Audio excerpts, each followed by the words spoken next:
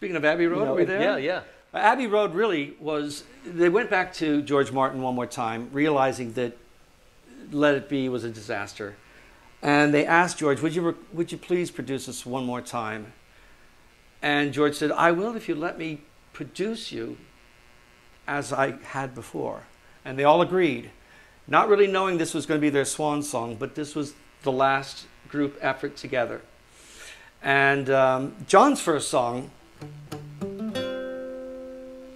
was really written as a campaign song for Timothy Leary. Timothy Leary was going to run against Ronald Reagan for governor of California. And hi- his campaign motto was come together, join the party. So he says, John, can you write me a campaign song? And John says, sure. You know, well, the original didn't end up being quite like. In fact, Come Together was the first time that John was successfully sued for lifting lyrics off of the Chuck Berry song. Now, Chuck Berry didn't sue him, but the guy who published it, Morris Levy, and when you hear it, it's like, let's see, driving slowly down the wee wee hours. I was driving slowly due to drizzling showers.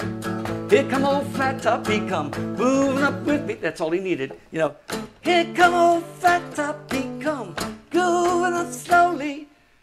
I don't think the two sounded alike at all, but that was enough for Morris to sue John and for John to stay out of court. He said, What do you want me to do, Morris? And Morris said, You, you record five songs that I own the publishing to, which became part of John Lennon's rock and roll album, and we'll be even. And, and John the, the connection there was they, that album was produced and held up by Phil Spector, much like the tapes were of Let It Be were stuck in the Right, but Phil was getting crazier and crazier. You know, I mean, they were dr- drinking lots of brandy and cognac. Phil would come, you know, dressed up as a cowboy with guns, and he'd shoot the, the speakers. And John would say, "Christ, if you're gonna shoot me, shoot me, Phil, but I need my goddamn ears." so that's kind of the way it went. Then Phil took off with the tapes.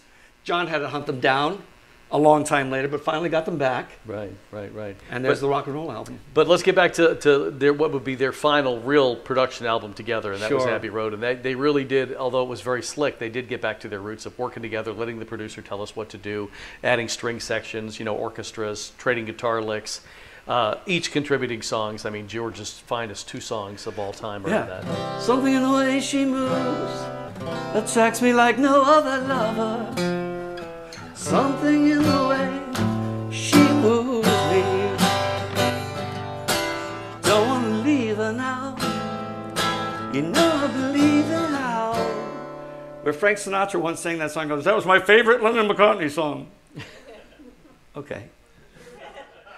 And Abbey Road was a, a well balanced album because it had a Ringo song on there. It had uh, a couple from John. It even had a song John sang for Yoko, I Want You, which is pretty strong. Right. And uh, obviously it had Here Comes the Sun Something and uh, Maxwell's Silver Hammer. And what an amazing way to go out. But I think th- the way that it really ended, the way the album ends, is kind of how the group ended. Yeah, let me see if I can play it without blowing it here on piano. I tried learning it this morning, but uh, everyone knows this. You can sing with it. Yeah.